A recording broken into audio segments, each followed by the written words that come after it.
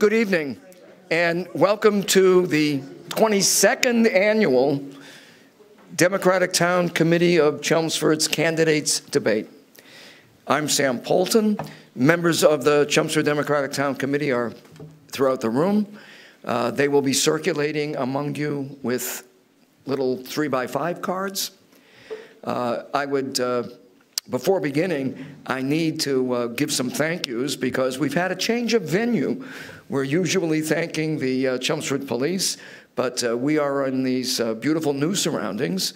Uh, I encourage everybody in town to come to the uh, Performing Arts Center and uh, come to the cabaret, as they say. So Joel Grey's not here, neither is Liza Minnelli, but you can have a great time here at the cabaret. I want to thank Sue Gates and the uh, Arts Council for uh, giving us this new venue. And wh- who I really want to thank is Chelmsford Telemedia. A round of applause for them for setting up.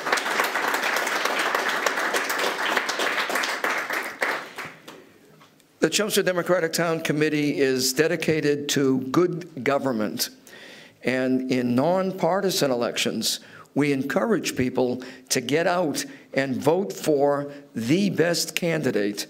And the best way to find the best candidate is to listen and watch and learn. That's why we do these debates. That's why I hope you're watching. So tonight, you'll have an opportunity to hear in their own words candidates for selectmen and school committee. And uh, for those of you that are here at the cabaret, we encourage you to write down questions. They will be unscreened. Uh, They uh, will only be edited for brevity. And uh, before we officially begin the debate, just a couple of things. Uh, First, I would like everyone to uh, join me in rising, and we have a flag, and I would like us to all stand and salute it, if you would. I pledge allegiance to the flag of the United States of America and to the republic for which it stands, one nation, under God, indivisible, with liberty and justice for all. I would be remiss if I didn't also mention that for more than half of those 22 years, we've debated here in Chelmsford while townsmen, fellow Bay Staters, and people from all over the United States are deployed to defend the freedom that allows us to gather and debate our similarities and our differences. Please remember folks that are deployed. More importantly, remember their families. And uh, I am sure that you know someone that uh, belongs to a family of a deployed soldier, and uh, please let them know that uh, we think of them. And lastly, as painful as it is, and as unbelievable as it is, could we please have 30 seconds of silence for the horrific tragedy and the 17 people who were murdered in Parkland, Florida, high school students and staff. And um, let us join with others who are saying, never again. A moment of silence.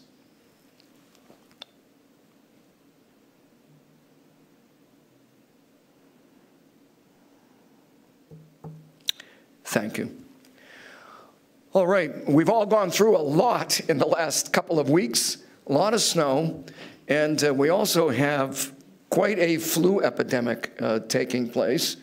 Uh, the snow has already canceled one debate. Uh, we decided not to cancel our debate tonight, instead to change venue.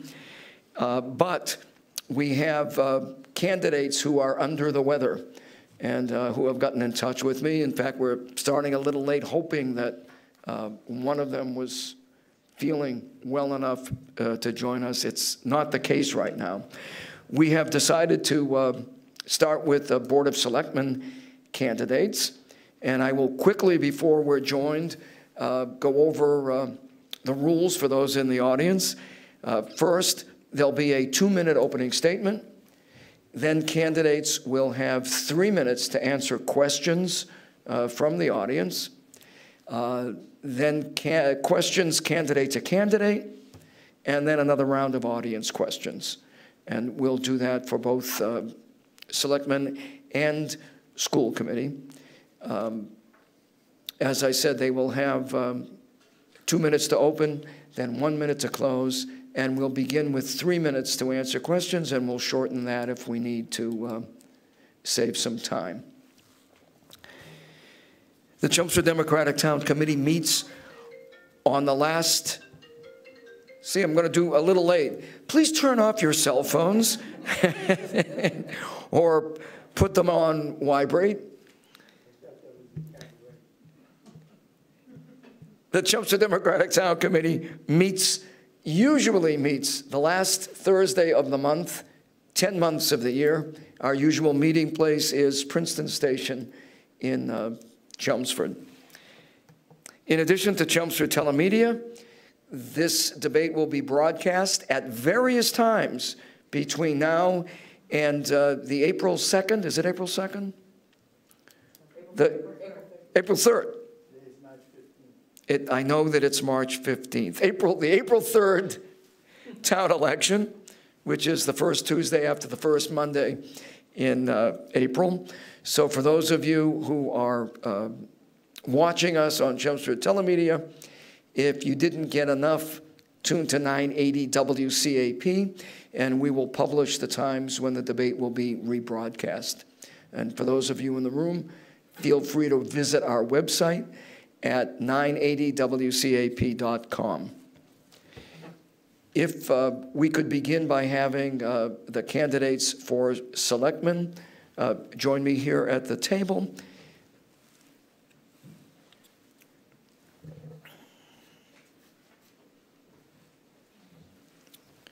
And uh, coming up, a round of applause for Emily Antle. A big round of applause.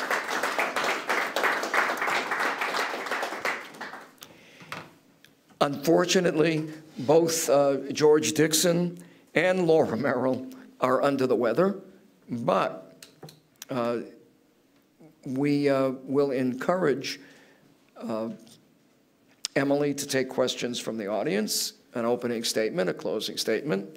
And to uh, be fair, I do have an opening statement from Mr. Dixon. So uh, I am going to say that I am thinking of a number. Oh, you can just go first. It's I'm think, oh, no, no, no, we can't do that. I'm thinking of a number three. Between one and 10, you know, between one and 10. So you said what? Three. All right. So you have, uh, you have two minutes, and Mr. Kaplan will keep time for you. Uh, candidate Emily Antle. I'm Emily Antle. Uh, I have lived in Chelmsford for six years. I have two small children. I'm a native of Massachusetts. I grew up in Winchester. Um, I attended college in Western Mass. Uh, I love my neighborhood. It is, I, I, live in a Norman Rockwell painting, basically. It's uh, a park, um, I have a library, I have a bus driver and a postman and a nurse and a, it's, it's, it's Mr. Rogers' neighborhood too. It's, it's, um, it's amazing. Um, it's the Varney Park area. It's just, it's phenomenal and I love it so much. I love my neighbors. Um, I, uh, I taught school for many years. I taught public school. I do have some experience with private and charter schools as well. Um, I also did project management for a textbook translating company, and I managed teams in Argentina and Colombia, uh, as well as um, uh, freelancers around this country. And uh, is that better? Okay. Um, and I'm losing my voice because I have whatever cold is going around too. But so uh, I am running for the Board of Selectmen because I'm really good at seeing the bigger picture, uh, breaking projects down into smaller pieces, uh, and making sure those pieces get completed and followed through on time. Um, So I think that I can bring focus, I think that I can bring drive, I think that I can bring ideas and structure to the Board of Selectmen. Um, I like to work with people, so I absolutely would welcome collegiality and uh, a team spirit on the Board of Selectmen uh, to help move projects forward. Thank you very much, Laura. All right, I have an opening statement uh, from Selectman George Dixon, and um, I'm not used to uh, something high-tech. Uh, I finally got a phone that doesn't flip, so I'm going to uh, read the statement as, as George uh, sent it. As a lifetime, uh, lifelong resident, George Dixon Jr. has served the town of Chelmsford with pride in many capacities. His most visible contribution to the town of Chelmsford is his current role as a member of the Board of Selectmen, now in his third term. His favorite part of being a selectman is when he gets a, call, a phone call from someone who needs help, no matter what it is, and he's able to solve the issue on their behalf. Nothing gives him more pleasure. In this role, George has served as a liaison to a number of departments, Lowell Regional Transit Authority, Permanent Building Committee, Water Departments, Capital Planning Committee, just to name a few. The hottest topic this election season, however, is tax classification, an option that works successfully in nearby communities. With the new Route 129 business overlay and the fact big companies have left Chelmsford for locations with higher tax rates, George wants to explore a new tax rate, currently dollar for dollar split, that makes sense for both residents and businesses. In addition to his work serving the town, George helps kids with disabilities at the Paul Center, serving on a number of committees and fundraising initiatives, and even teaching kids to bowl. He's an active member of his church, extending his commitment and faith to community service. For the Boys and Girls Club, he lends golf skills to help teach the kids, and his community experience to fundraising efforts. In addition, he was a primary leader in the effort to install synthetic turf athletic fields in Chelmsford. He is a recent inductee to the Chelmsford High School Hall of Fame. George is running for reelection to his fourth term to the Chelmsford Board of Selectmen. He has proven his commitment to serving the town well, representing the residents time and again, and asks for everyone's vote on Tuesday, April 3rd. Those are George Dixon's words, not mine. Round of applause for both candidates and their opening statements. I will now say that uh, Laura Merrill, uh, currently serving on the Board of Selectmen, was unable to be with us. She gave me permission to say she is down with the flu. And I think we all understand that not only is that uncomfortable, uh, I think that discretion was the better part of valor, and we have to thank her for keeping that to herself. Uh, So a round of applause for uh, Laura Merrill. Okay, with the uh, opening statements out of the way, and the fact that we only have one candidate who can answer questions, I'm going to begin asking the questions that have already been brought up. And please, uh, Joe and others have uh, three by five cards. If you guys could walk around and get more questions, that would be, uh, that would be great. First question, and you'll have three minutes to answer. Okay. There is about a $40,000 difference between the compensation package for the superintendent and town manager. What do you think about that discrepancy? Who is paid more? I think they purposely left that out. The superintendent is paid more the town manager. Um,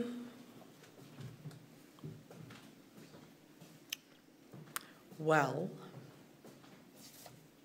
I think that when you're looking at a budget, uh, if any sacrifices are to be made, then they have to be made fairly and across the board. And I would never approve uh, a raise for um, administrators and administration if the rank and file were not also getting a raise. And I would never approve a raise when programs are being cut. Um, In terms of what the jobs are, in terms of what the jobs are worth, it seems to me that the town manager's salary is fair. Uh,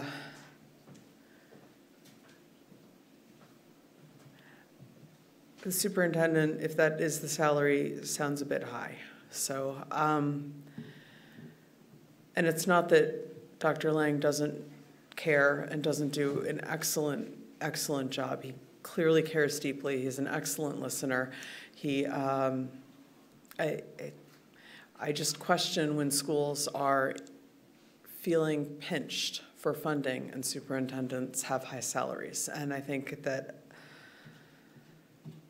I mean, I know that if I were in that position, I would make a good faith gesture and cut my salary. But um, as Board of Selectmen, if I have a say over it, then I would be voting to either maintain or reduce it unless uh, funding were raised proportionally to the schools.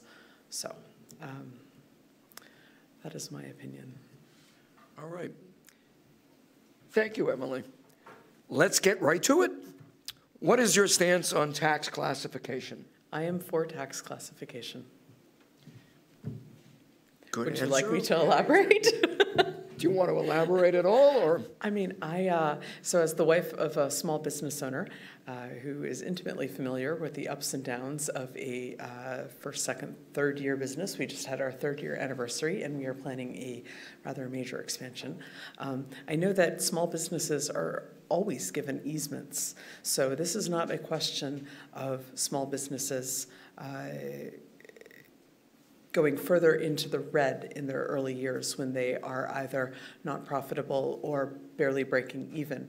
Uh, they are always given easements. Um, it's a standard practice. Uh, when you are looking to fill the shoes left by Kronos, which is a multinational corporation, when you are looking to fill the significant real estate on the 129 overlay, you are looking at multinational corporations. They do not care about a few percentage points in tax differences at all. They don't care. And what you want in a strong, healthy economy is a mix of small and large business. You want mom and pop stores, you want multinationals, and if we want to attract those, what we need are amenities. Kronos left uh, not because of taxes. They left because they wanted a single building where they could exist as a corporation with room to grow, and they didn't have it where they were. So if you want to fill those shoes, if you want to fill that space, the question is amenities, and that is up to the owner and to the developers of the properties to ensure that the buildings are up to date, that uh, there is a- an appropriate work-life balance in the area, uh, that uh, there is accessibility to transportation, that there are uh, a- a variety of amenities around, whether that is gyms, uh, restaurants, and a variety of restaurants, not just a couple of, you know, big boxes, but a variety of restaurants, uh, that there is space to grow, that there is uh, adequate space to live, and the buildings have to be updated. And I feel like we're in a bit of a catch-22 right now, where you've got uh, uh, owners of these buildings who haven't updated, who don't want to update because they don't have tenants, and tenants who don't want to move in because the buildings aren't updated. And so we are in a bit of uh, um, a struggle there. But uh, the taxes don't have anything to do with that at all when you look at comparable communities who are close enough to Chelmsford to be considered peers. If, if I might, um, Absolutely, a- as the moderator, absolutely. uh, I we all appreciate your answer. I- I want to give you an opportunity to to um, clarify. You said you were in favor of, of classification. Um, Are you in favor of one tax rate for residential and business, or are you in favor of two different rates? Oh, two different ones, I'm sorry. Two different ones. So you want, um, I assume, Businesses would carry uh, a nominally higher percentage. Um, So Okay, that, I mean, Yeah. that, that clarifies it. Thank you very much. Welcome. Uh, We're now that uh, all the candidates have answered a couple of questions with three minutes, we have a lot more questions than I thought we would get from the audience, with more coming, so I'm going to limit the response to two minutes. Absolutely. All right. Rate the town manager's performance, if you will. Specifically, what do you believe Mr. Cohen does well? And give us one area in which he needs to improve.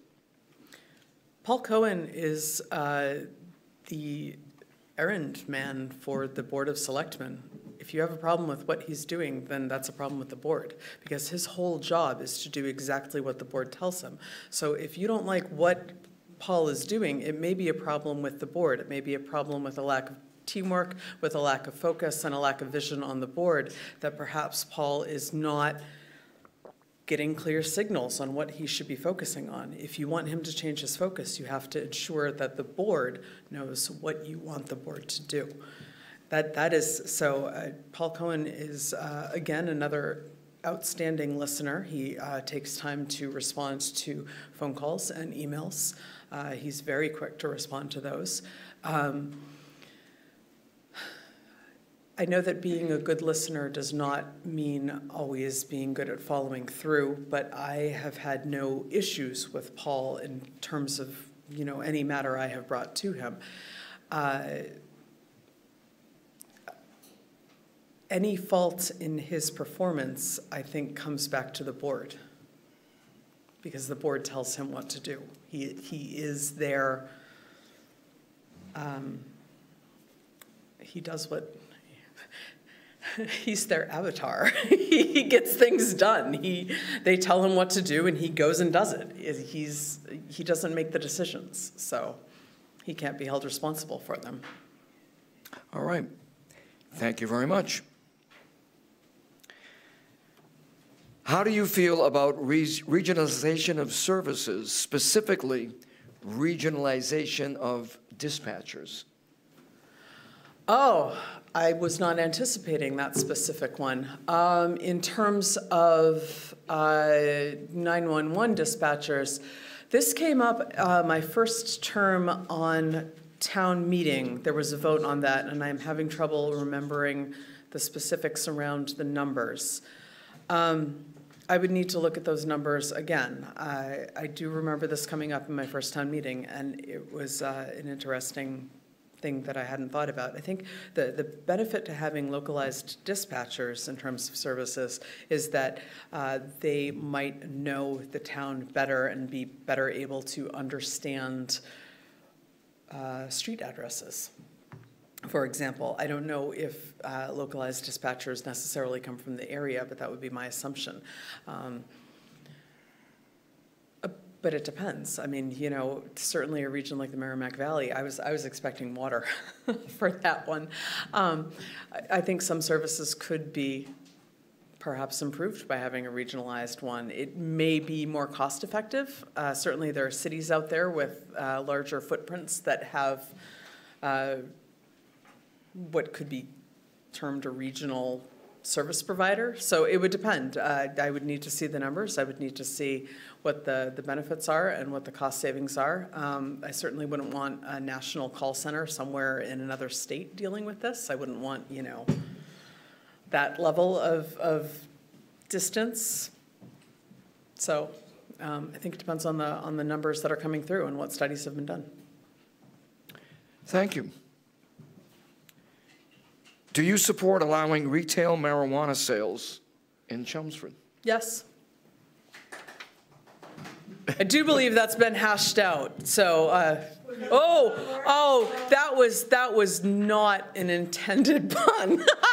All right, so, yeah, um, That may be the high point of the night. I've got to remember that marijuana sales have been hashed out. ah. Anyone got a Twitter account? Put that out there. So anyway, um, yeah, uh, absolutely, because It's tax revenue. You want tax relief, you want more tax base, bring in the marijuana, bring in the sales because those are regulated. They are not coming in from our national forests where cartels are growing them with unregulated amounts of pesticides. Bring in the greenhouses, which will allow farmers to grow them. Uh, bring in the medical uh, testing, bring in the science labs, bring in the microbiology around it, or the microbotany around it, bring in the double-blind clinical research trials. Absolutely, let's go science. Let's figure out what the molecules are, let's figure out what the strains are, let's get this down and regulated, and let's get the quality control in there. Let's get let's do it and let's make some money off of it because that would be the front of the crest. It is going to peak. And if we wait, everyone else is going to get the peak. They're going to get all the infrastructure, and we are going to be looking at, you know, the 51st iteration of the shop, which is not going to make nearly as much as the first, second, and third. So I want to be at the front of that wave. So yes, um, absolutely. I am absolutely pro regulation and science and research. Thank you. At this point, to give you a little breather, we have invited members of the press, and uh, I recognize one member of the press and uh, I don't know if the Lowell Sun reporter has found the uh, cabaret at the uh, Chelmsford uh, Performing Arts Center or not. If uh, you are here, Lowell Sun, Lowell's great newspaper, raise your hand. Um, I, I, do recognize one of our on-air people from 980 WCAP, and um, I will call on Joe Reddy to ask a question on behalf of the radio station. Um, would you support a tax override to build a new high school in Chelmsford? Would you support a tax override to build a new high school in it depends on whether or not we got matching grants from the state. I know we turned down matching grants several years ago, uh, which I think was a poor decision. Um, if we could get into that grant pool where we got matching funds, uh, I, I think we need it. I know that uh, windows have been updated. I know the HVAC system has been updated. I also know that those buildings are not in any kind of condition interior, and speaking about the interior, to, to uh, serve the purpose they need to at this point. Um, so, and I also know that, that the reason we put those modular classrooms out there, which I really felt was the only decision. I voted for that because that was the only realistic decision. I also thought it was just an absurd decision to make. I thought it was a bad one. Um, and we did, we did that because we didn't want to open the walls and get slapped with code regulations on these old buildings that were not updated and were not adequately maintained. And because the buildings were not regularly updated and not maintained, it is now more expensive to rebuild and so the problem with um, passing the buck or kicking the can down the road, whatever metaphor you would like, is that sooner or later it has to stop and you have to pay the bill. You have to pick the can up and you have to do something about it. And I, am sorry if it feels like a big pinch now. It would have been cheaper years ago. It would have been cheaper to maintain it in the long run. And um, I, I don't like decisions that are better in the short term and worse in the long term. I try to avoid those in my personal life. I realize that sometimes that is your only option, like with the modular classrooms, but that was the, um, the end of a series of very bad decisions. So I, as, as a person who can see the big picture, I would much rather be looking at the long-term future of the town and the up-and-coming town townies and members of the town and people who will be using the infrastructure that has not been well maintained and has not been updated. And that is what I am looking for. I'm looking for current and future town members who will need good infrastructure, who will need updated buildings. This is a great example for an updated building that, has, that is serving a new purpose. If you look around at all the work put into this building here at the Chelmsford Center for the Arts, you can see how uh, maintenance and upgrading brings in revenue and status and benefits to the town. And it would do that if we updated and maintained our schools. Thank you. How do you feel about housing growth in the town? Do you feel the CEO ID should be revised to reduce density? No, I think that density needs to be planned. I think that when you don't have a master plan and a master vision with concrete goals, you end up with haphazard density. You end up with uh, a poor work-life balance. You end up with losing green space. Planned density allows uh, preservation and conservation of green space. It allows that open green space in the community where the community can gather and socialize and, and really feel a part of something. My neighborhood is such a great example of that. Uh, the, the lots are a little smaller than in some areas, but I love my neighbors. I love their dogs. Um, really, even the noisy ones, I love them. I love the park in my neighborhood. I love uh, the fact that my kids are able to, or will be once they're tall enough, to be able to run around, you know, within within an area like I used to when I was a kid. It's a great neighborhood with, with, with fabulous people. And when you plan density well, when you plan for a life-work balance, when you look at the possibilities around Vinal Square for growth and development and, and just tremendous possibilities, that's, that's what you need to be looking at. You need to be looking at walkability. You need to be looking at spur, at the, the spur um, for the uh, Lowell Line commuter rail that they're considering um, in North Chelmsford. That's on the, the warrant articles, I believe, for the Springtown meeting. And that, that is, is, a, is, is a wonderful opportunity for economic growth and development. And so planning density is absolutely necessary. Uh, you, um, it, it's happening. The world's population is growing, it's not shrinking, and you cannot freeze time. You can't freeze space. And uh, I'm sure this argument was had years ago when the pig farms started disappearing. Um, and I married into a family with a pig farm, so I know what that looks like too.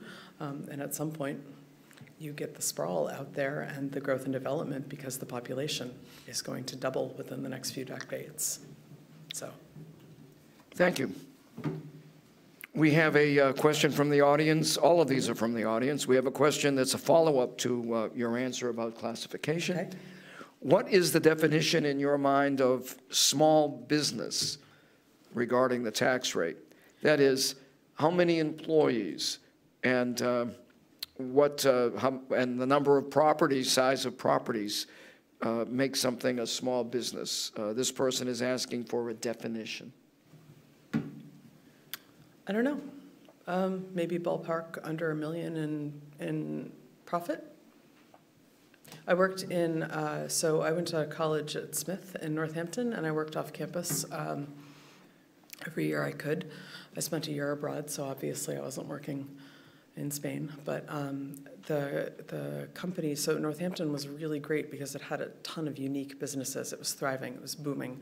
Um, the recessions have hit it, and it's it's not as amazing as it used to be. Um, but the the company I worked for, the store I worked for, was just about at a million dollars worth of business, and it was a tiny hole in the wall. It was, you know, the size of this room with the, the like half this room with the columns. Um, so uh, it depends on what it is. I, there are guidelines for small businesses in terms of who has to provide health care. Perhaps we could follow that. So if you have, you know, under whatever number of employees, you don't have to pay the higher rate. But like I said as well, um, I, I, I don't think taxes are a black and white issue. I don't think that you can universally apply uh, single numbers to a broad base of people. You can't have, flat tax rates are ridiculous and don't work, and data has proven that. You need graded tax rates. And so if we have a small business tax rate and a big business tax rate, I think that's reasonable and justifiable. And I think that we have data to prove that, and it bears out from uh, around the country and around the world. Right, thank you. And uh, our last, um, actually, we have two questions left. I'm going to ask you to answer um, uh, one very briefly so we can ask the second one. Okay.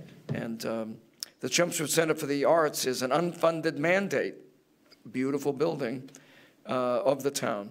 What support, if any, would you advocate the town give it? Um, Well, I think that it would be uh, I believe that this sort of thing is usually done with a written request. So depending on the written request, depending on the budget, depending on Susan's needs to keep this running, uh, this is an asset to the town. We have it on cover photos. Uh, we, it is frequently featured in art and photographs uh, that are posted on town web pages representing the town. It is right in the center. It is highly visible. It brings in uh, 70 concerts a year, something like that, 60, 70 concerts a year.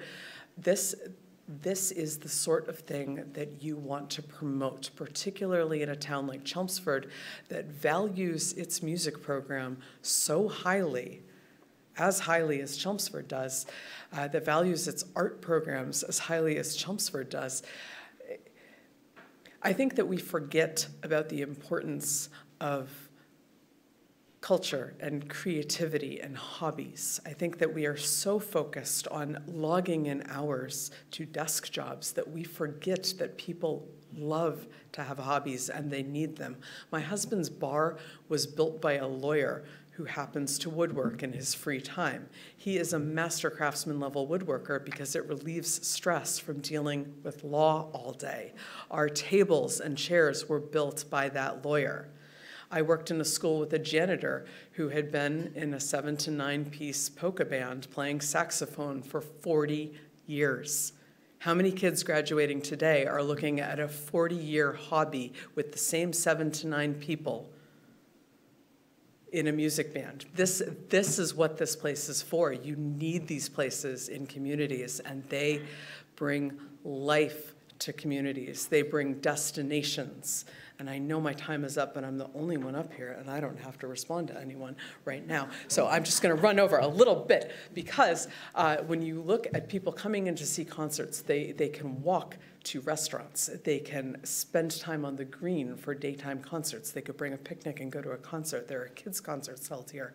This is the sort of thing that all towns should be promote, promoting, and children should be looking at as things to do. They can paint and they can sell their paintings for thousands of dollars if somebody wants to buy them. It is an opportunity to showcase what makes us human and, and what is so important about us as a species as opposed to just worker drones, which I think um, we value too highly sometimes. Right. Thank you. And uh, a quick yes or no. Would you be in favor of changing the charter to remove the town manager with three votes instead of the current four-vote rule? Um, I mean, I don't see why a simple majority um, is a problem. I do think that there would need to be a thorough review. Uh, I have heard that the uh, the review process for evaluating the town manager is not nearly as thorough as the review process that I went through as a teacher, which I find rather appalling because I had to fill out in the last few years 20 to 30 pages of responses on uh, an evaluation. I had to submit documentation. So if we can't judge a town manager the way we can judge a teacher, I think that's a problem. So I would love to know what the process is for reviewing. And again, I don't have a problem with Paul Cohen. And again, he is the gopher for the Board of Selectmen. If you have a problem with Paul Cohen, you might have a problem with the Board of Selectmen, which is why you should consider me. But, um, so, uh, I, I think a, you know, three out of five is fine. I just want to know what the review process is, because if it is less stringent for a town manager than for a teacher, I think there's a problem with the process. All right, and uh, a last press question uh, from uh, 980 WCAP, Joe Reddy. Mr. Reddy, nice and loud, please. Uh, What committees would you be most interested in serving on as a liaison if elected? Well, I think I am more qualified than anyone on the board to serve on the school committee because of my experience. Um, I also think that I would be good for uh, um, anything dealing with the green spaces. I know we don't have a Parks and Rec department, um, so, which I think is a, a I think is a fault. I think it's a fault, but I think, I think open space would be a good place for me. I think that, um, school committee, obviously, uh, with my background. Um, I mean, I would see, people always ask about waste. I've served on accreditation teams. I know how to read a budget for a school, and I would see any waste quickly. So um, I think those would be my preferences, would be maybe open space and, uh, and the school committee. But it certainly depends on, on what is needed, you know? Right. Thank you very much. And uh, if you can answer this in uh, one minute, that way we'll have asked every single question that was sent up. Do you have any strategies to help reduce residents' costs of living in town? Uh, I don't think it means their personal budgets. I mean, is there any way that you, any strategies you have to make it less expensive to live in the town of Chelmsford? Um, I believe there's some sort of program whereby, someone was telling me about this just today. There's, there's a program whereby seniors can do volunteer work to get their tax bills reduced. Um, I don't know. I would like to see where our revenue streams are and how they compare to other, uh, to other towns and to see whether or not we are accessing the revenue streams that a town of this size typically accesses. So if we are not, if there are new revenue streams we could be exploring, I would like to know about that. Um, I would like to hear what, uh, I would like to hear what the other selectmen have to say on that. I would like to hear what um, Lisa Maroney, the, the director of, um, the, the, I'm going to get the title wrong, and I'm so sorry. My apologies, but uh, it's, it's the new economic development director position. I would like to hear what her input might be, um, and I would like to see how our revenue streams compare with other towns. Thank you very much. It's now time for uh, closing statements. And uh, inasmuch as much as um, you went first, Mr. Dixon will go first in the close. George Dixon wants to emphasize again that he is committed to the town of Chelmsford and enjoys serving the residents as their representative on the Board of Selectmen. One thing he would like to encourage is that more people become involved in activities uh, that impact the broader community. There are many committees to join, interesting meetings to attend, and good things happening in Chelmsford that would benefit from new participants. George has lived in Chelmsford his entire life so far, and as a member of the Board of Selectmen, he has proven his commitment to addressing issues large and small. George asks you to vote for him on Tuesday, April 3rd, so he can serve another term for the good of our town. A round of applause to uh, our two candidates who are here in voice and, oh, I'm sorry. You know, there you go. How easy is it for a moderator to only moderate one candidate? Not easy enough for this moderator, obviously. We'll now hear from uh, Emily. I'm Emily Antle. Um, I would greatly appreciate the opportunity to serve the town of Chelmsford on the Board of Selectmen. I, I believe that I can bring focus and direction to it. I believe that my ability to identify goals in things like vision statements and to make them concrete and to break down tasks into small parts and actually follow through and get them done would help. Uh, I am working for current residents and future residents, and I believe that I have a lot to offer Chelmsford. Um, I also would like to echo what George wrote in about more people serving. We need more voter turnout. We need more people involved. We need more people contributing because this is a community and this is your community and this is why I'm running. I believe that more people need to participate and it is it is actually a little difficult for me to put myself out there like this and it is a little difficult for me to go door knocking and shake hands and ask for signatures. So if I can do it, you can too. And I look forward to a, a voter turnout. Please make sure you bring your friends and please vote for me, Emily Antle, on April 3rd. Thank you.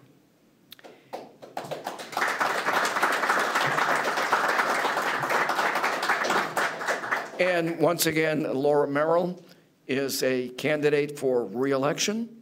and uh, Laura was unable to join us, uh, being down with the flu. Uh, I know that were Laura here, one thing is certain. She would ask for your vote on April 3rd. So on her behalf, I would say, please remember to go out and vote Tuesday, April 3rd. And Laura Merrill would like you to consider her. Now we can say a big round of applause for our candidates, especially the candidate that's been grilled. So.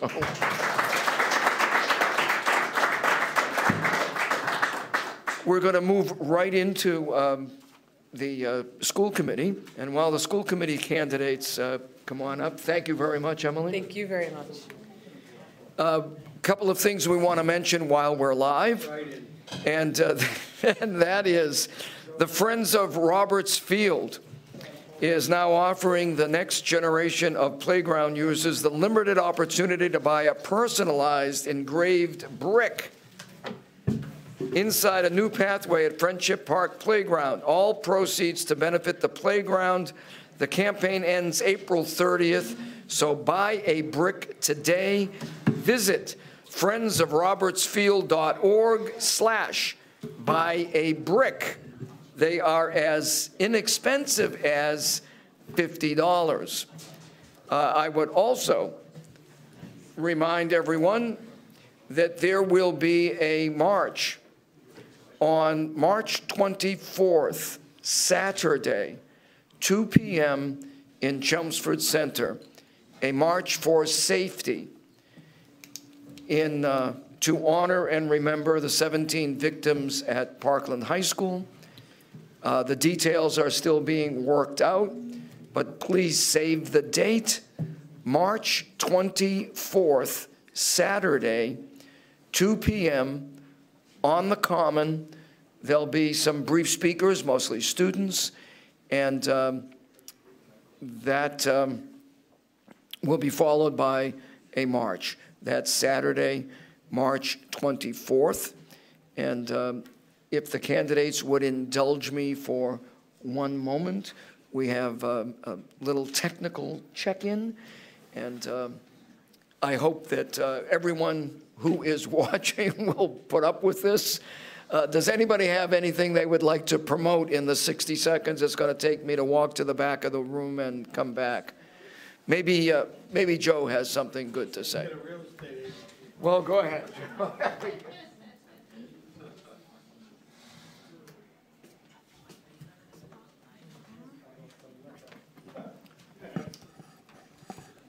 Uh, All those interested in uh, learning more about Chelmsford topics, you can tune into Town Talk on Monday nights.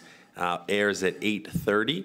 Uh, Dennis and I do a show on WCAP 980 on Wednesdays, 10 to 11. If anyone's interested in Chelmsford topics, and if you're interested in discussing Chelmsford topics, you can go onto our uh, Facebook website, uh, Chelmsford Town Talk. Uh, Everyone's welcome to join. Feel free to join and, uh, and discuss. All right, thank you.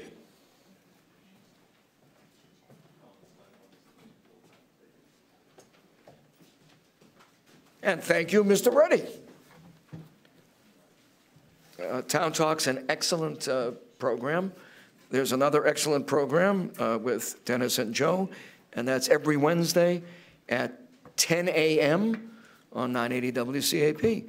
Uh, A lot different than, than uh, the uh, cable TV show, and really outstanding. Very few father-son teams in the Merrimack Valley, and they're really very good. All right, for our order of speaking and answering, we'll do the same as we did for the uh, selectmen. I am thinking hard of a number between 1 and 10. Uh, What number, we'll start with uh, the candidate closest to me. Seven. I don't know, we're in a room of psychics, obviously. This has never happened. So, There we are.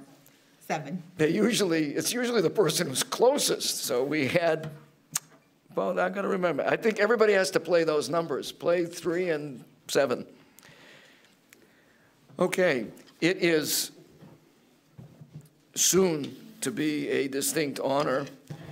I don't want to get our names wrong, and I should not have buried my cards, which I did. It is a uh, distinct honor and privilege to introduce our two candidates for school committee. So let's begin with a round of applause for Jamie Outland Brown and Donna Newcomb. A round of applause, please. And uh, Jamie chose number seven, so uh, she will begin. Uh, We will then rotate with the questions, and uh, I will begin the school committee uh, uh, debate the same way we began the selectmen's debate. I'm Sam Poulten, Chair of the uh, Chelmsford Democratic Town Committee, who, along with 980 WCAP, is sponsoring tonight's debate, our Meet the Candidates. And we want to thank the Chelmsford Center for the Arts for giving us this beautiful space, the Chelmsford Cabaret. Uh, We also want to thank Chelmsford Telecommunications. Round of applause for Chelmsford Telecommunications. The uh, candidates, those of you that came out in person, and those of you that are listening at home, we are live on uh, Chelmsford Cable Access. It will be, uh, the show will be repeated a number of times. Consult your local listings. We're also uh, going to be broadcast on 980 WCAP many times between now and April 3rd.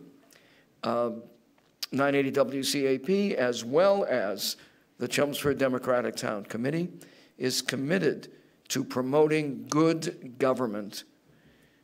In Chelmsford, uh, local elections are nonpartisan. We encourage people to always vote for the candidate who will do best for our town. We think the best way to decide that is to listen, watch, make up your mind, and surely vote. So, with that said, Jamie, you have a two minute opening statement. Thank you, sir. I'd just like to say thank you for this opportunity to come out here and speak to the people of the town of Chelmsford. Appreciate everyone who's come out here tonight to actively participate in this great and wonderful event that we have and are able to do. My name is Jamie Outland Brown, and I am a candidate for the Chelmsford School Committee. I was born in Arizona. Um, however, when people ask me where are you from, I always say all over because my mom didn't like to sit still very long. So she moved around a lot. I actually went to 12 different schools before I even got to high school. So um, I find, my mom did finally settle down in Baltimore, where I graduated. I tried to do a couple of years of college, and then I joined the Army. Hooah. Cool. My original plan was to do college with the ROTC program and then join the Army. However, I failed the physical with my vision and couldn't get the scholarship. So God had another plan, had to join a little bit early. But I always knew since the sixth grade I was going to join the Army and I was going to serve this country. And I did it till the day the, uh, the Army said I could serve no more. I did it proudly and with honor every single day. Even on those days when you're cold and hungry and wet and miserable and tired and you miss your friends and your family and you haven't seen anybody in forever, I still knew I was serving a greater purpose. And that was okay with me. And then when I became a leader, the soldiers that I had under me, my responsibility to make sure that they came home safely. And I was okay with that. That's what I joined for after joining, after uh, while in the army, I um, you know escalated to senior level leadership. I made my master sergeant in 15 years, little a little over 15 years. I did numerous uh, leadership courses, um, educational training.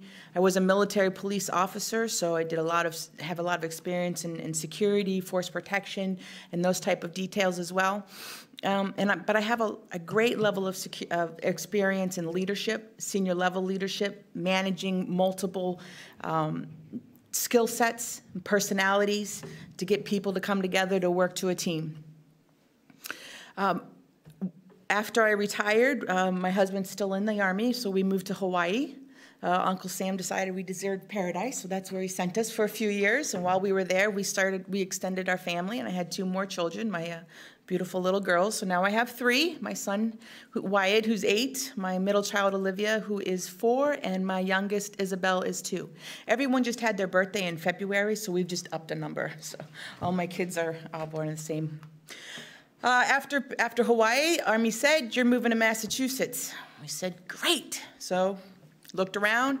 We picked Chelmsford because of the schools, because of its crime rate or lack thereof, and because of their, um, the property values. We picked Chelmsford.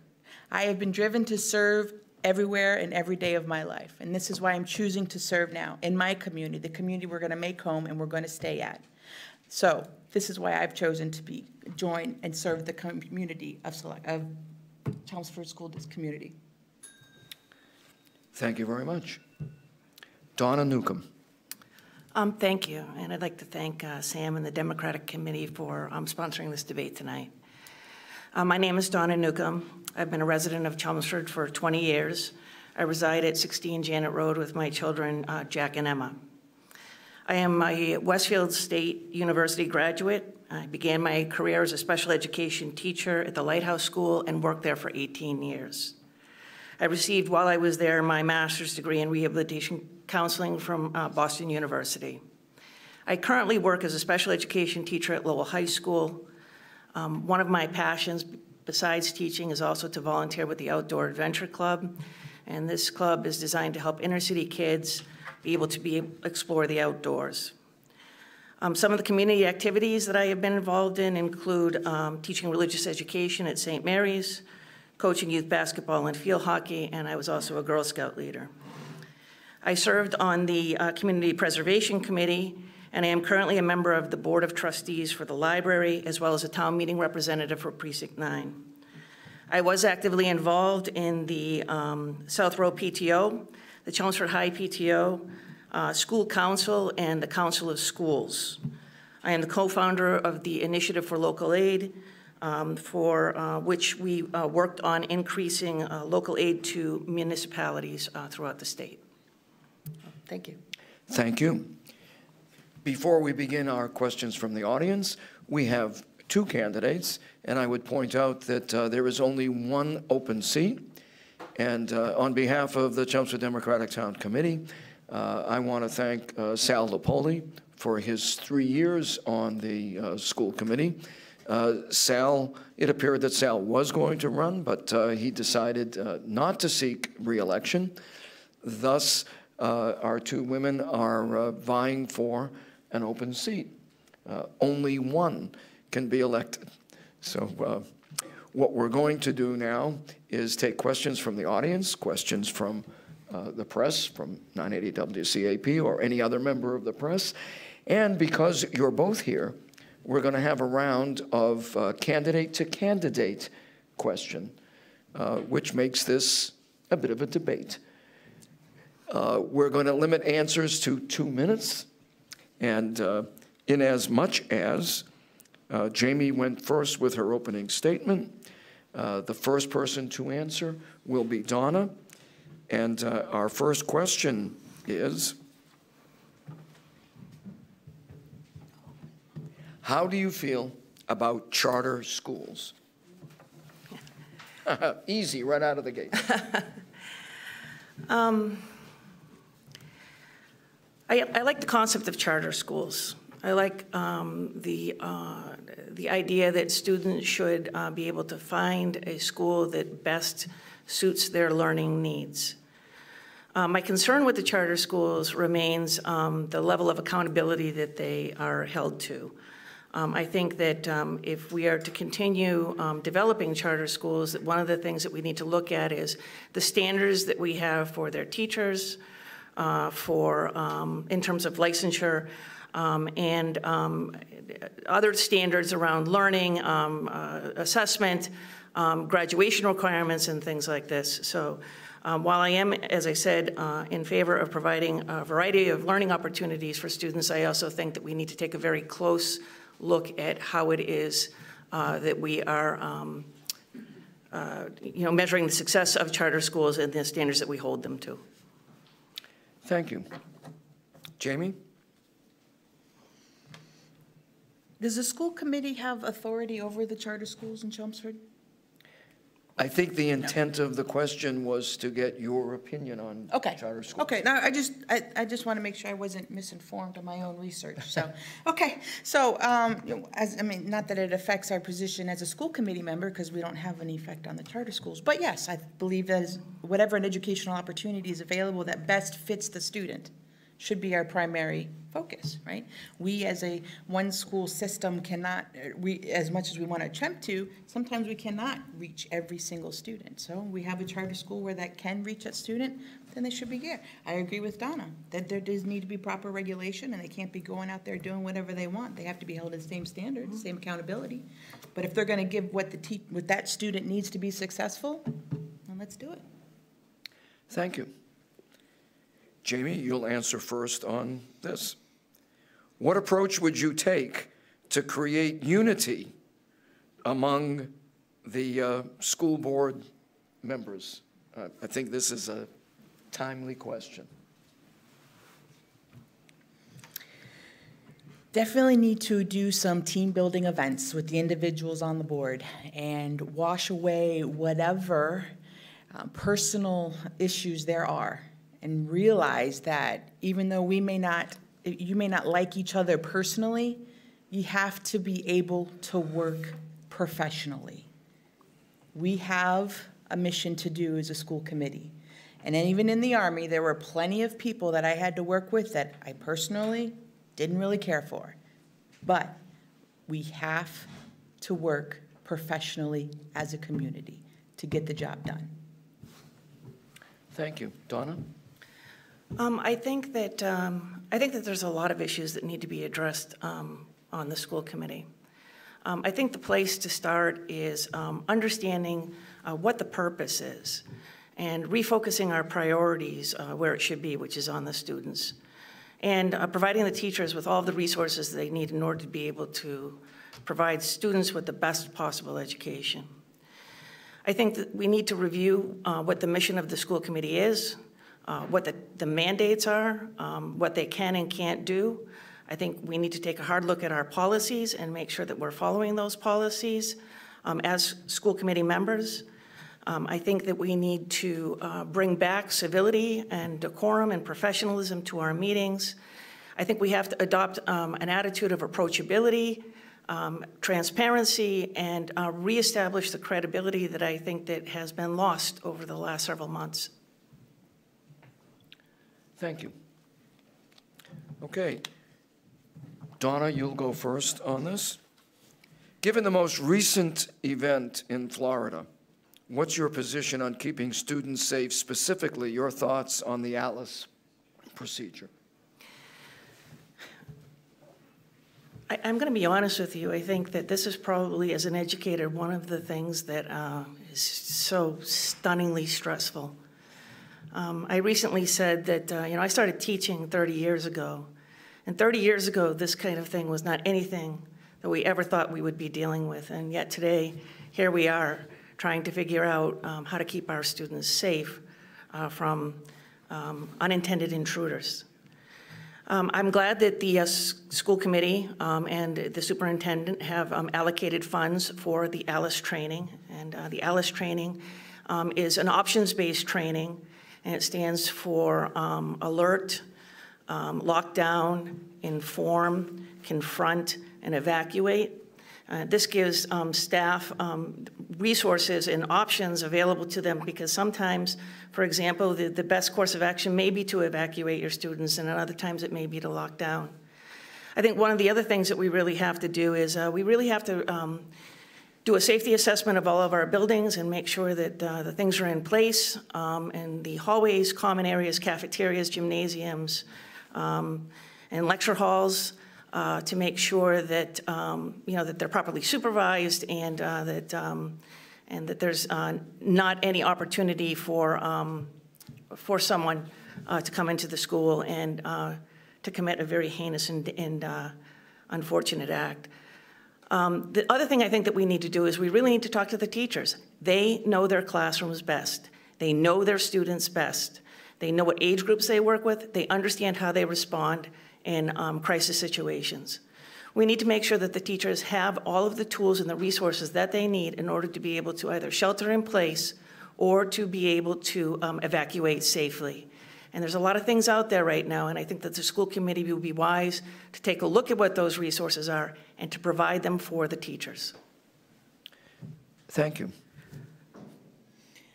I don't think any reasonable person, if you ask them what this, about the safety concerns of our children, if it's important or not, would say no. Yes, the safety of our children are, should be of- one of the utmost of important. My experience as a law enforcement officer in dealing with force protection and protection and, and, and providing security, excuse me, I have a great level of experience in how to incorporate or establish proper security procedures and protocols and to look at facilities and say, hey, we're lacking, this is, this is a weak area in our security, this is a weak area in our perimeter, or we need to increase our procedural aspects in this area because it can be exploited.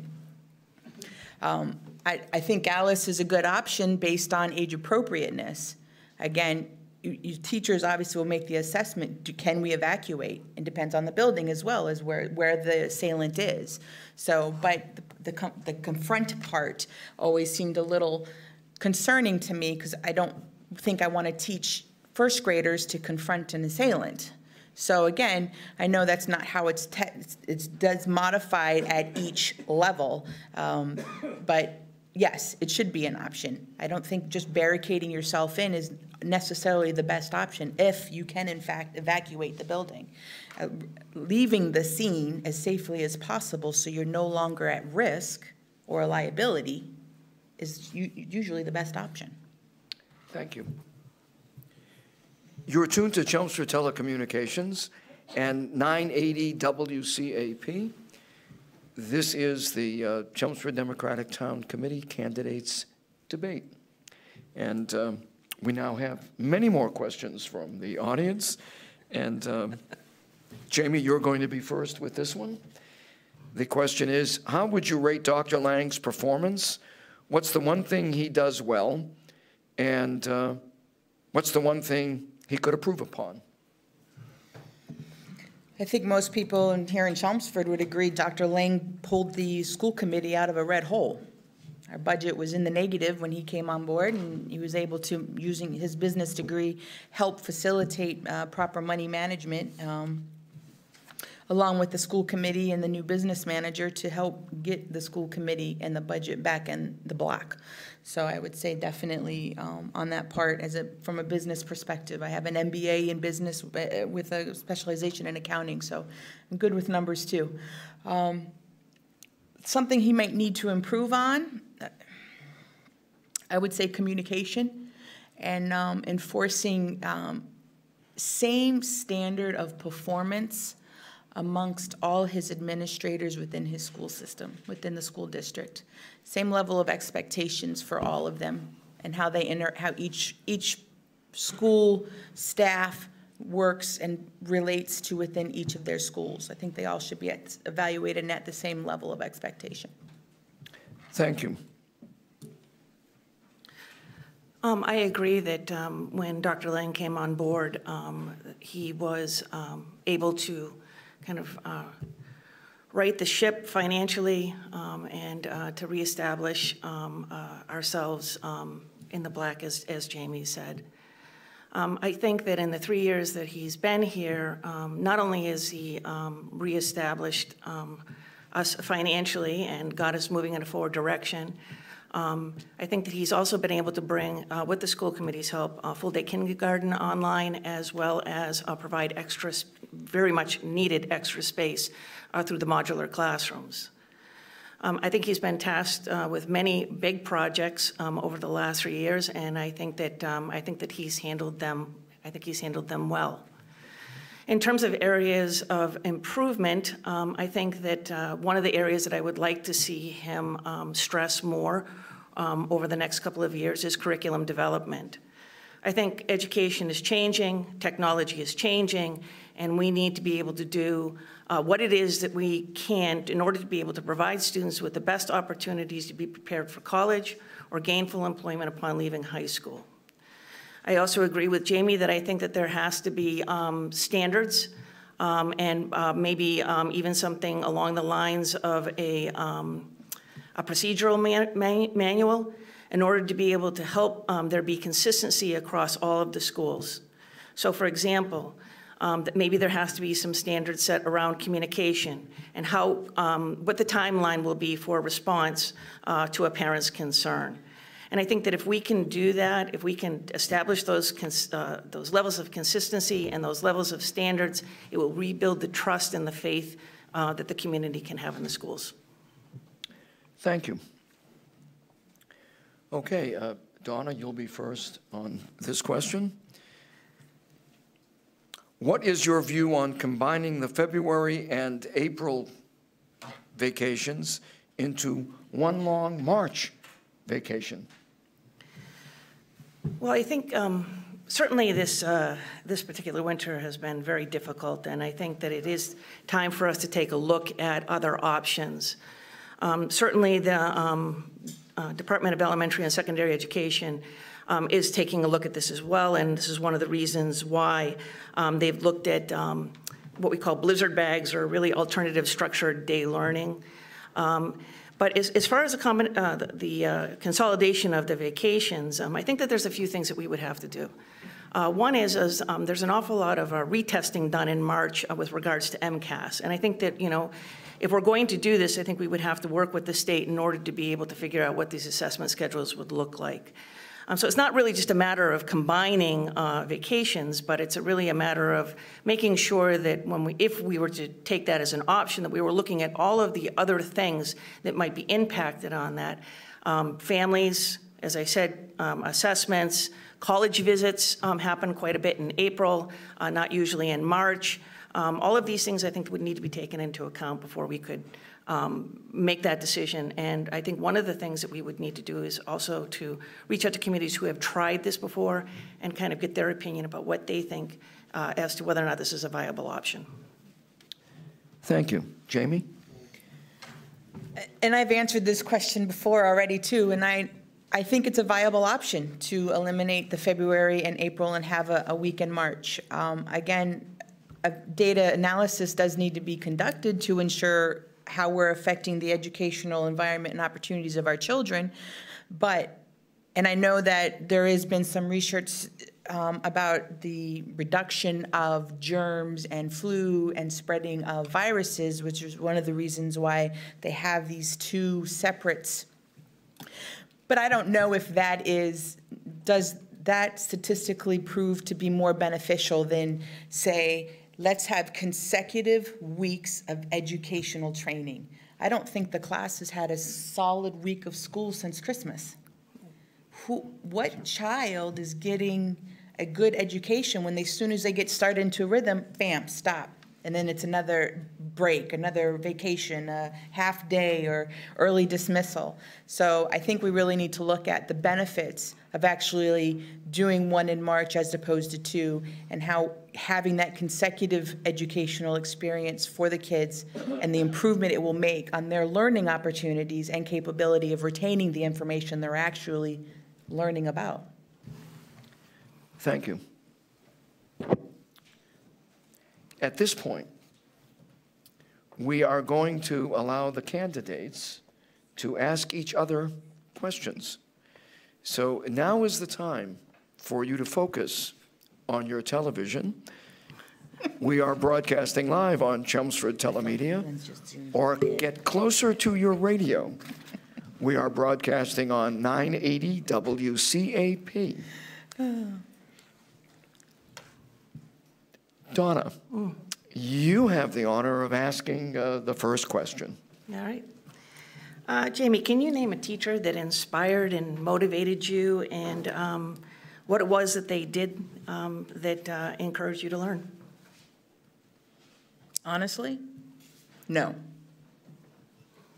It's sad, but like I said when I started, I went to 12 different schools before I even made it to high school.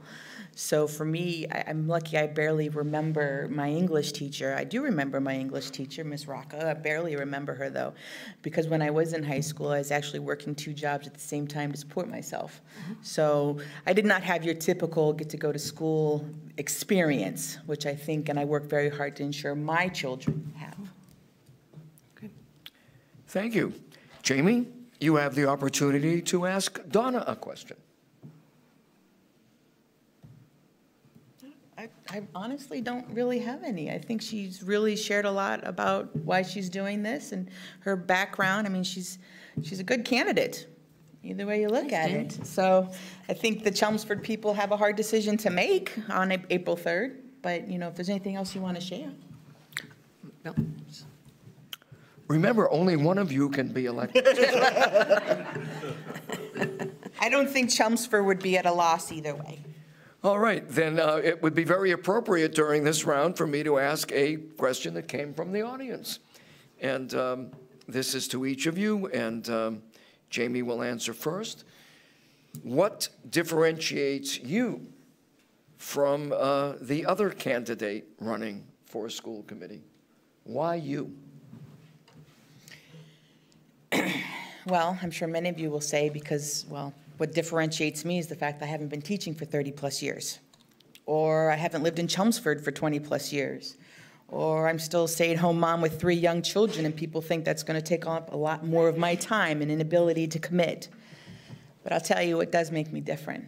My level and training and experience as a leader to get things done at multiple levels time management, task organization, and prioritizing to get things done.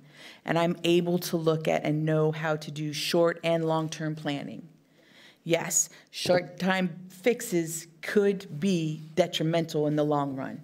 And I think we need to start forward planning the decisions we're making within our school district. It may look good now, nice little pretty Band-Aid, but what's it going to be like in three years? How is it going to cost us in five years? And then again, my leadership. I don't need to know everything about everything. We have school committee members who have been longtime educators, but we also have a body of teachers who are in the classroom every day. We have administrators, we have specialists, we have the special education commit, community committee, we have the Chelmsford's Council School Committee with the PTOs. We have all of these resources to us, and we need someone who can bring them together to work together as a cohesive team. I think pulling all those resources and all that talent together effectively to reach the goals we need to make this educational opportunity for our children the best that Chelmsford can provide. And I think that's what makes me different. I think that's what I can bring to the table. Thank you, Jamie. Donna?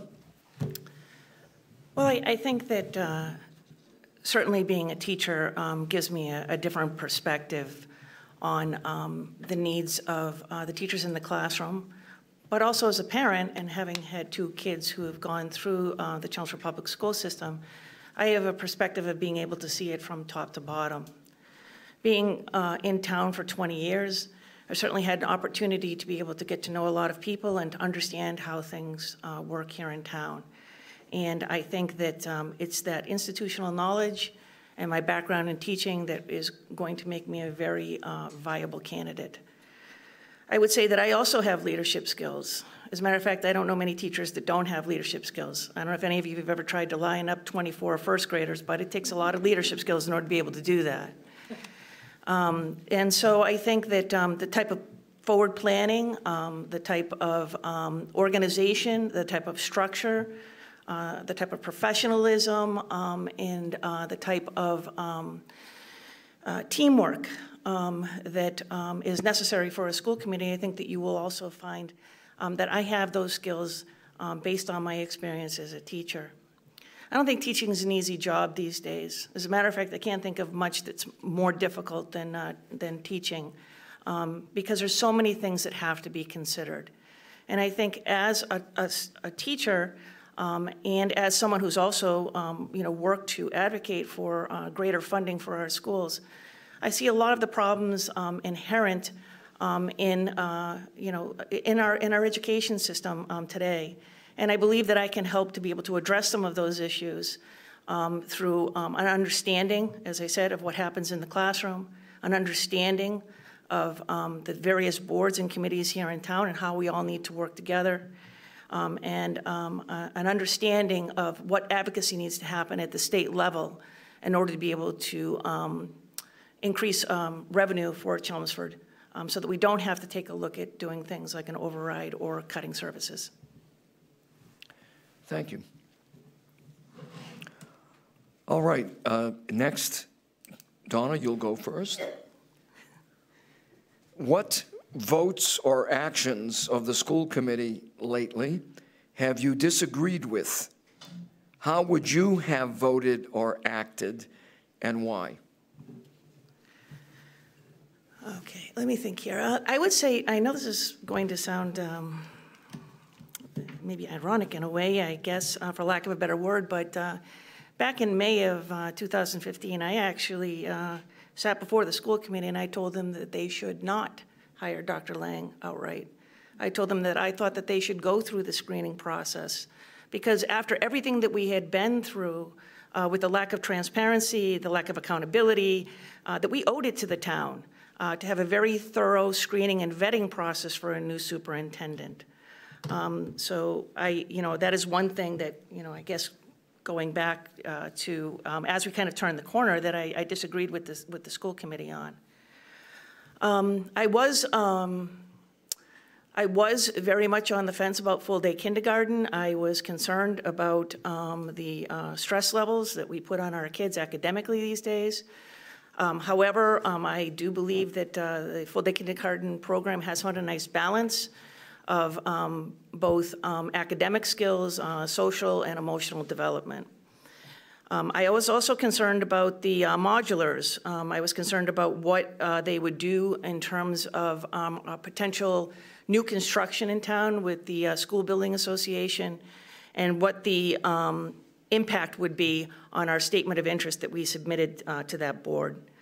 Um, but there was something that happened at um, town meeting uh, when we were taking that vote that really resonated with me. And it was a father who got up whose uh, daughter was in kindergarten. And he said that uh, his daughter had 28 kids in the class. And I realized that that was no way for a child to begin their education. And so um, even though initially I was not in favor of the modulars, I realized that uh, you know, we really have to uh, establish a solid foundation for kids, um, you know, to be able to build on as they go through the schools. Um, and so um, I thought that uh, although it was a short-term solution, it may have been the best one in the end. Thank you, Jamie. Well, as you all know, I've only been in Chelmsford since September of 2017, so I haven't had the long history of being here to actively advocate. Um, I will say that of what I have seen since being here that I've questioned, however, the decision was already made. Dr. Lang's salary, his contract, the fact that he was renewed for another three years, or I'm correction, another five years on top of his three-year contract. But again, already done under, know, so. And then um, I think another thing I had concerns about was the addition of two assistant principals for the four schools, four half-time positions, you know, two people to serve, as opposed to looking at what we could have done more so, if possible, to help deal with the social and emotional um, support resources that our, our children seem to be in, in such desperate need for as well. So, and I did ask, you know, how did this, how did this come to be? You know, where is this determined what the priorities are? Because in my opinion, I think we need to look and ask our teachers, what do you need? What do the kids need? And then how do we budget for that? We had to make some tough, you know, Dr. Lang and the school committee had to make a lot of tough calls, cut some um, positions uh, because of the budget situation that they came into when he started. Now we're in a position where we can start looking at adding to the services and supports.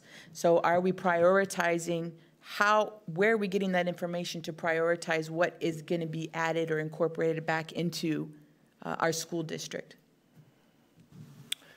Thank you.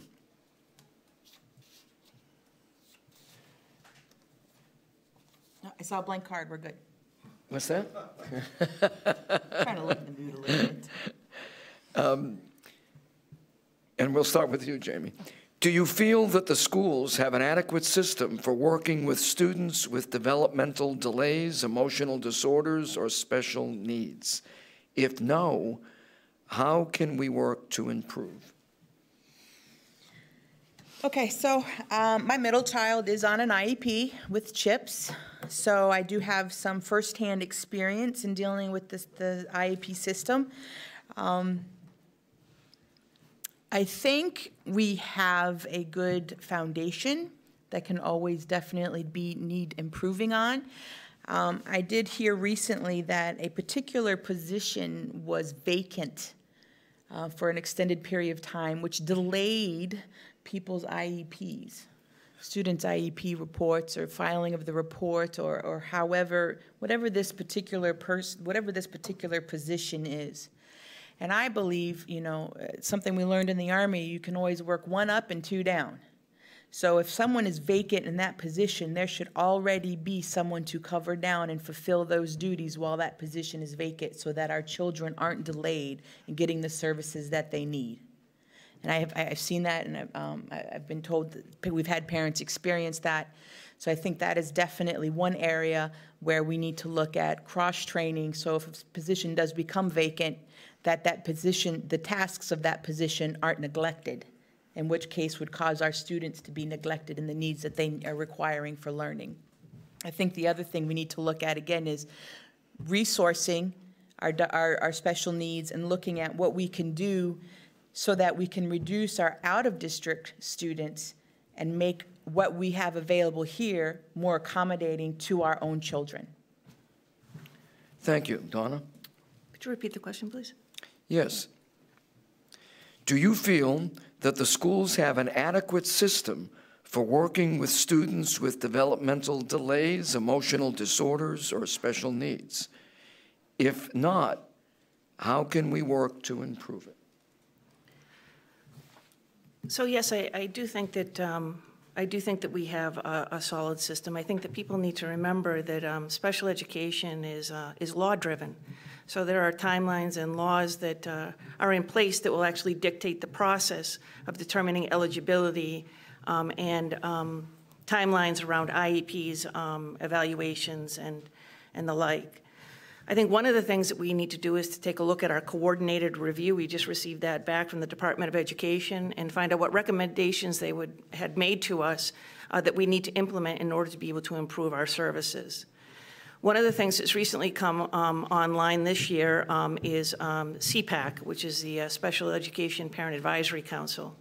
And I think this is going to be a tremendously helpful group to parents in terms of understanding their rights and the best ways to go about advocating for what their children need. Generally, special education is a very, very broad area, and so sometimes it's really hard to um, be able to service all of, all of the children's needs. Um, in the IEP process, you always start with what does a child need, and then you determine where are those services going to be delivered. I think we need to provide as many services as we can here in Chelmsford, but I don't think it's realistic that we can provide all services. But I think we need to make um, every effort to make sure that whatever services a child needs, that they have them so that they can be successful and live a quality life and be prepared uh, for um, future employment or whatever comes next after high school. Thank you. All right, next. Donna, you'll go first. Do you think the current graduation requirements are realistic and applicable for students heading to college? I, so there's, there's two, two issues here. Um, the first is graduation requirements, and then the other would be course of study. So, um, you know, the, the, graduation requirements are determined by the state, and there, while there is some flexibility at the local level, there is certain things that have to happen in order for a student to be able to obtain um, a um, high school diploma. Um, in terms of, um, you know, course um, requirements or course selection, I think one of the things that we need to do is uh, we need to take a look at uh, what our course offerings are. Um, And so in other words, what I mean by this is, is that, uh, you know, some students may be interested in going into the math and sciences. And if that's the case, then maybe we should have established pathways for them um, as they um, enter into high school, so they can look at courses that are uh, more geared towards their interest. Well, I think it's very important that high school provides a well-rounded education and lots of opportunities for exposure to kids. I mean, I think some kids know that, uh, you know, I'll use my daughter as an example, because it's the best example I have. Um, it- you know, she was very interested in science and math. And while she certainly enjoyed band and, and the performing arts, she knew that that was not going to be a career that she would be entering. Um, And so um, I think that we have to be able to allow for adjustments um, in the credit requirements so that students can focus on certain pathways um, that will allow them to be prepared for college. I think one of the other things that we need to do um, in terms of preparing kids for college or employment after high school is to make sure that they have the necessary um, either skills, um, social skills and emotional skills for college life or employment, um, as well as some real life skills around, um, you know, being able to take care of themselves once they leave, either to live on their own or to live away at college. Thank you. Jamie? I've always said that in school you get two things. You get the educational lessons and you get life lessons. And I, be- I'm on, believe with Donna, what she said, that I think in a high school, especially in our high school environment, we need to make sure that we are molding and, and mentoring the students to become self-sufficient. So when they step over into that college campus, can, what can they expect? The teachers are not going to be holding their hands and, and the teachers won't be giving them latitude in certain areas. The standard of performance is going to be stricter and, and held, upheld more rigid. So I think we really need to make sure that as the child progresses through the school system, especially in the high school in those four grades, as they progress from freshman, sophomore, junior, senior, are we as teachers, as educators, and as parents progressing to ensure we're molding them to become more self-sufficient, understand and know what the educational environment is going to be when they go to college, or if they do decide to go straight into the workforce, do they understand how and are prepared to live on and support themselves? I think the course curriculum and courses offered do need to be um, well uh, diverse, but reasonable, not uh, what we would call fluff courses. They need to be worthwhile educational programs to expose our children to. Some people go to high school not knowing what they want to be. Do we have what we need to expose that child to enough so that him, him or her can pick out that niche that they want, that will, they're going to grow a desire to work in or, or become educated in? And then lastly, having that guidance counselor that checks and balance um, from a student who's getting that more and more freedom as they progress through and picking their courses to making sure that they, they're staying on that right path and they are picking the right classes. Um, and making sure that they are in fact getting prepared and understand what is going to be expected of them as they progress to the next level, whether it be straight into the workforce or straight into uh, the college life. Thank you. All right, at this point, uh, we're going to take um, a question from the press. And uh, is there another member of the press uh, present? I do want to uh, let everyone know, you are tuned to the Chelmsford Democratic Town Committee candidates debate. The Chelmsford Democratic Town Committee is committed to good government, and um, Local elections in Chelmsford are nonpartisan. We encourage folks to not only turn out to vote, but to choose the candidate that you think will best serve the town and ourselves. Uh, We'll now go to uh, Joe Reddy, representing 980 WCAP. Mr. Reddy. How do you feel about Chelmsford's relationship with Nashoba Tech? And uh, I believe that uh, it would be Jamie first. You know, I've heard kind of both sides of that relationship because they're taking money from us or they're costing us more money. Um, in the long run, honestly, I believe in a vocational school. If that's what that student wants and that student is ready to go into the workforce and graduate with their technical degree and go right into the workforce, then we should not be restricting, resisting, or preventing that student from going to what, in a field that's going to make them a positive contributing member of society. Donna? Um, I also believe that there's a real need for um, uh, vocational technical high schools, and I'm glad that we have such a high-quality program in Nashoba Tech right here um, locally. Um, I think that um, it is important for kids uh, beginning uh, to decide what it is that they want to do um, with their high school experience, to be able to have the opportunity to be able to go over and tour Nashoba Tech and understand what it's all about. Um, And, and, you know, as they begin to make that decision, as I said, for what it is that they're looking from their high school experience. I think Nashoba Tech and, um, you know, Chelmsford High School, while there are certainly uh, similar academic standards, obviously Nashoba Tech offers um, more uh, training uh, in the, in the uh, vocational technical fields. Um, I think that um, that's great uh, for kids who have an interest in that. For kids who don't have an interest in that and who want more of a traditional high school experience, one of the things that's available to um, High School students upon graduation is to take, do postgraduate work at Nashoba Tech. I believe it is um, with no cost. Um, so that that way, um, as I said, a kid who wants that traditional experience, but decides maybe at the end of four years um, that they, um, you know, want uh, more, rather than going on to college, would like to um, get more um, specific skills training, now have the option of going to Nashoba Tech. So I think that they, they do fill a, a very important um, need in our community. Thank you. Donna, we'll start with you. How do you feel about moving pickup points for children regarding busing? I, I think that um, what we need to do is, you know, obviously this would need to geared towards um, the age of the student.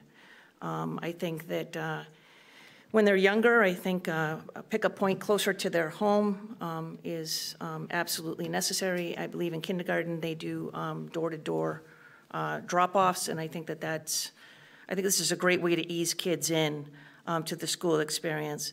I think as they get older, I think, you know, especially in, in high school and things like that, I think that we could probably, um, a- you know, expand upon um, the pickup points and so that they're not so close together and uh, that the kids could, um, you know, walk a little bit more distance than they may currently do at this point.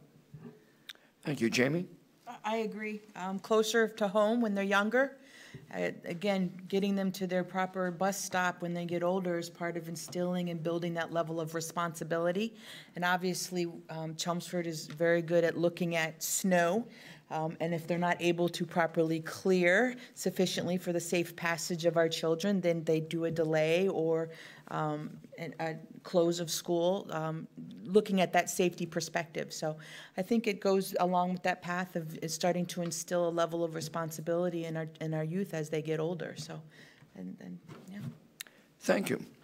And uh, we're going to have another opportunity for candidate-to-candidate questions. And um, I'm hoping that each candidate has thought of a question, and we're going to start with uh, Donna, a question for Jamie.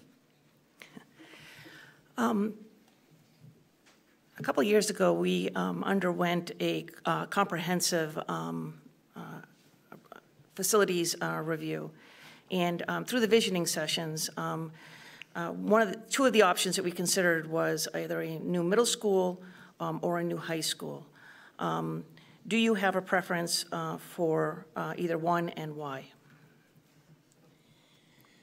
Well, I mean, obviously, you'd have to look at data. What is our student count going to be like? What's our class load going to be like? And what are the current statuses of the buildings? Which I'm sure this is already, was done in this report.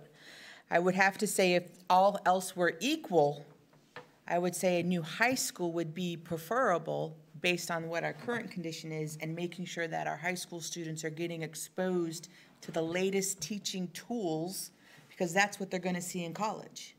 So if we're doing chalkboard and, and chalk here at Chelmsford and they're going into whiteboards and electron, you know, electronic, uh, digital pathways, then we're doing a disservice and preparing them for that. So I would think um, if, if, the- if all else were equal, ensuring that our high school is definitely at the same level of educational environment that they're going to receive at the college level, if that's the route they choose to make, so that they're exposed to all learning, possible learning tools and opportunities and become equipped become experienced and become successful with those tools. So when they go into college, that's one less thing that's going to shock them. Because they are going to get shocked when they go to college. Anyone who's ever been knows you're going to get a shock. So if we can prepare them, and kind of ease that just a little bit, I think a high school as opposed to a middle school would definitely be something I would choose. Thank you. Once again, I want to thank uh, the audience for providing us with so many questions. Uh, We're down to uh, uh, our last couple of questions, but we have time. If there are any last-minute questions, please send them forward. A reminder, uh, you are tuned to the Chelmsford Democratic Town Committee's candidates uh, debate. The Town Committee meets the last Thursday of each month. Uh, We're usually meeting at Princeton Station. We promote good government and uh, encourage you to come join the party. For more information, contact us at W-E-T-H-S-U at AOL dot com. That is, we eat this happy stuff up at AOL.com with Sue. And uh, not only do we promote good government, we have a sense of humor. Uh, You're tuned to Chelmsford Telemedia and 980 WCAP. Sam? Jamie first? No, she, she, oh, she didn't have opportunity to make questions. Oh, did you, did you have a question? Yes, I'm sorry. I interrupted.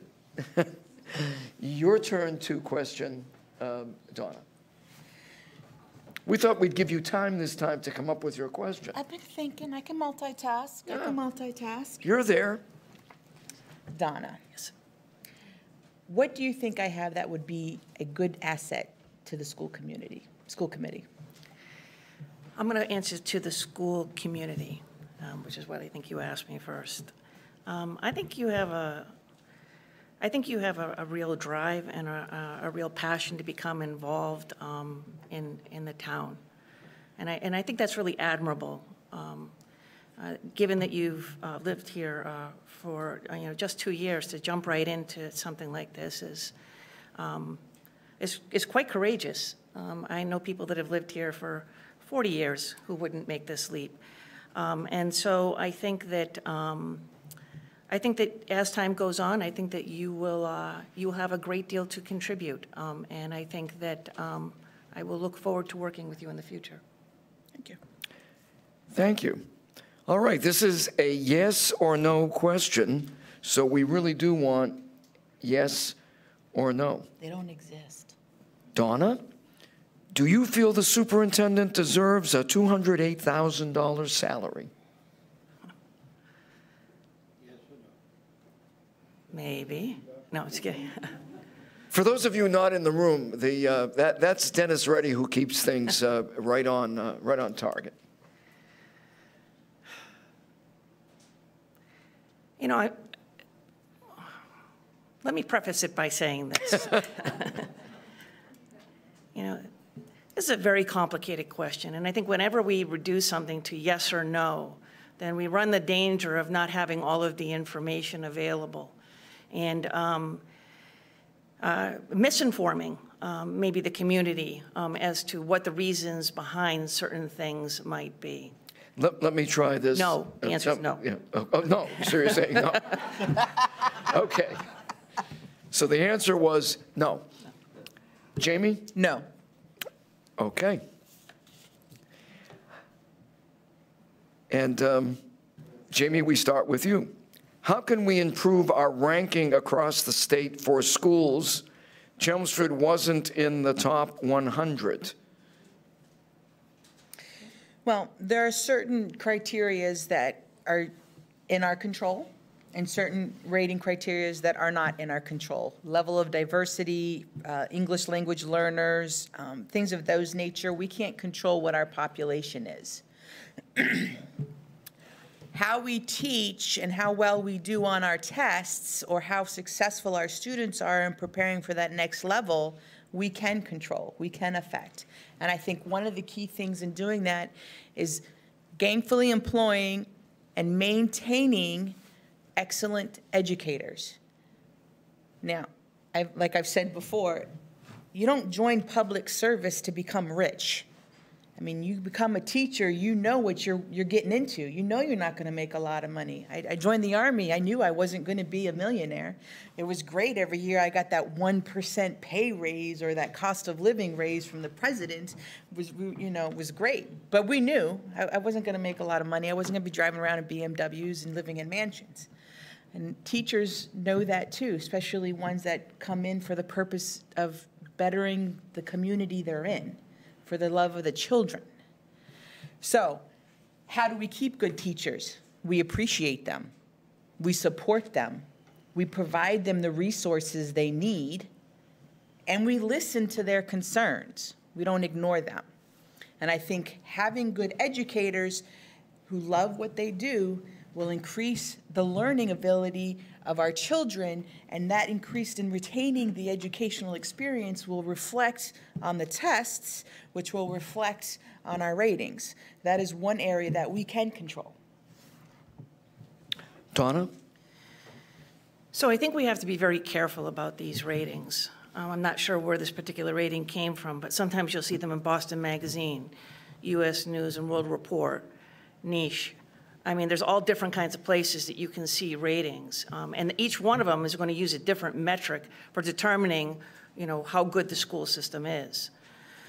So I think that um, we have to be very careful, as I said, not falling into the trap of um, allowing ourselves to be compared to other school systems based on uh, subjective or, you know, not um, realistic uh, measurements. I think um, we do need to continue to hold ourselves to high standards. I think that we should find ways of being able to better evaluate um, our performance um, here as a school system, uh, ones that are reasonable, um, that are objective, um, and that will allow us to uh, gather enough information to continue to develop a high-quality school system. Some examples would be, um, for example, we look at you know kids going into college. All right, that, that's great. Okay, what is the percentage of kids that graduate and go on to college? But how many last four years? How many of those students going on to college end up having to take remedial classes because they were unable to pass the assessment or the test uh, needed to get into a college level class to begin with? I think these are the kinds of things that we need to be taking a look at, as well as for students who don't go on to college, you know, after five years, are they gainfully employed? Have they received some skills training?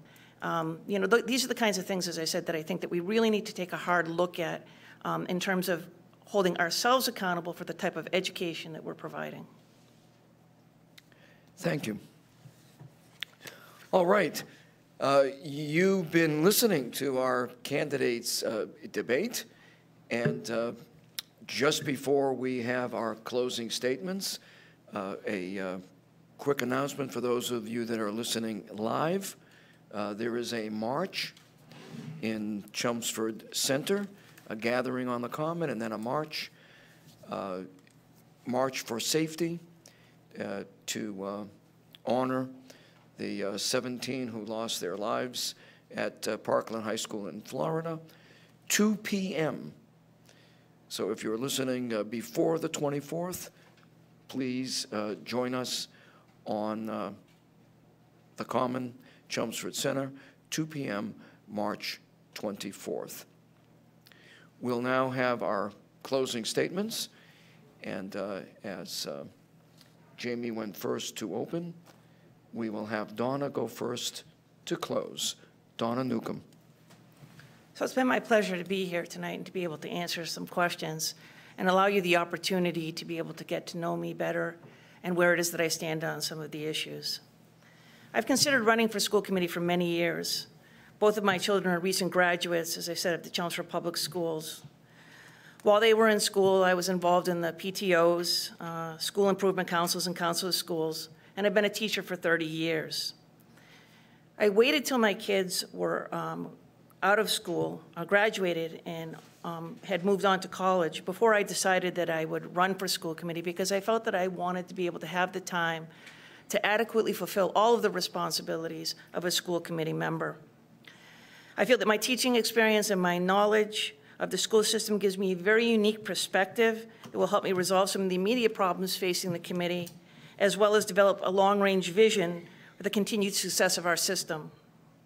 Finally, my experience with advocacy at the state level for education, funding reform will enable me to be able to work on behalf of Chelmsford to address issues regarding state aid for our schools. I respectfully ask for your vote on April 3rd. Thank you very much. Thank you. Jamie?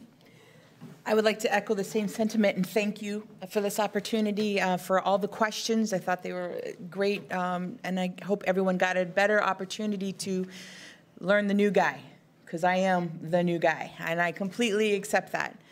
But I, I will say this I chose Chelmsford, and I want to serve Chelmsford. I want to be proactive in my community. Now, why the school committee? Because I have children in the school now, and I will have children in this school system for the next 16 years. I am going to be well invested in what's going on, and as the changes occur within the classroom, within the schools, within the educational experiences, I'm going to see that because my kids are going to be coming home and showing me this stuff. Also, I have, I may not have the exceptional teaching background as my opponent does, but my leadership allows me to tap those subject matter experts, allows me the ability to know how to bring those subject matter experts together to collaborate on a joint plan to meet our goals. I am running because I want to serve the community. I chose the school committee because my kids are in the school and I'm proactive in their education and I want to ensure that whatever education our community is providing for our children, it is the best possible education we can give them because that is our primary focus. Whatever we do, whatever agency we are, we have to come together to fulfill that goal. And I think I can, be, I think with my leadership background, I can come in and be able to help get that collaboration. I have a master's in business with a specialization in accounting, so I can look at the numbers and look at and see that doesn't make sense or there's a red flag there. But again, it really comes down to bringing together the people since I've been here at Chelmsford, I didn't just wake up one day and say I'm going to be in the school committee. I'm currently the co-treasurer for the Harrington PTO. I'm active in my church St. John's uh, Catholic Church in North Chelmsford. I'm an active parishioner there. I, I uh, was assistant coach for my son's soccer league last year, last spring, and I'm active with my son's Cub, uh, Cub Scout troop. So I do do a lot of things. Um, and a lot of people always question, well, how are you going to manage the time with three young children and what this job will require? Well, I ask you this how does every working parent manage the time? It's going to be a full time job. I'm more than capable of handling a full time job with three kids. There are plenty of working parents out there who handle a full time job with three kids. And I can dedicate the time and necessary and I can manage that time. Also, I'd like to say, um, of all the nuances and all the rhetoric that's going on, I'd really like to just focus on how we as a community can improve the school environment, the school, schooling educational opportunity for our children. Again, thank you very much for uh, sitting here and listening and providing your questions and delving into our brains and learning a little bit. I know you guys all know Donna and everything she is, but getting to learn a little bit about me, Jamie Outland Brown, and I do respectfully ask for your vote on April 3rd. Thank you very much. Let's have a big round of applause for these two excellent candidates. You've been listening to the Chelmsford Democratic Town Committee's candidates uh, debate. I think that you'll agree with me. Uh, the, uh, all of the candidates who are running for these two offices, Jamie Outland Brown, Donna Newcomb, for Selectman Emily Antul, George Dixon, Laura Merrill. We are very fortunate to have candidates such as these uh, vying for our votes to represent us uh, in town government. Our motto on the uh, common says, "Let the children defend what the sires have won." Guard, I'm sorry. It's Dennis Reddy again. Let the children guard what the sires have won. And uh, it's up to the sires to make sure that our children inherit the good government that we were given. Nothing is more important to defend democracy than to vote. It is truly the frontier of freedom. The election is April 3rd. Please come out and vote. And if you're not inspired by candidates such as these, you haven't been paying close attention. Once again, you're tuned to Chelmsford Telemedia. On behalf of everyone here, and especially on behalf of the Chelmsford Democratic Town Committee, thank you to Chelmsford Telemedia, and thank you to the Chelmsford Arts Council and Susan Gates for making this beautiful room uh, available to us. And uh, let's have one more round of applause for good government. And may God bless. Amen.